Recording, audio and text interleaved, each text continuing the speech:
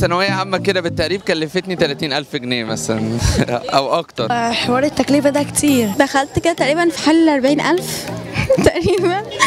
وهي بصراحة لا تستحق لأن هي سنة تعتبر بتحدد المستقبل هدخل كلية إيه وكده. من 25 ل 30 20 كده. مش كل المواد. يعني في مواد مثلا بتبقى الحصة 45 وهي لغة تانية يعني مش مستحقة المبلغ ده. هي تستحق بس إن شاء الله في النتيجة في الآخر يجي بخ- يجي بنتيجة كويسة. هي من ناحية بتستحق هي يعني كثانوية عامة؟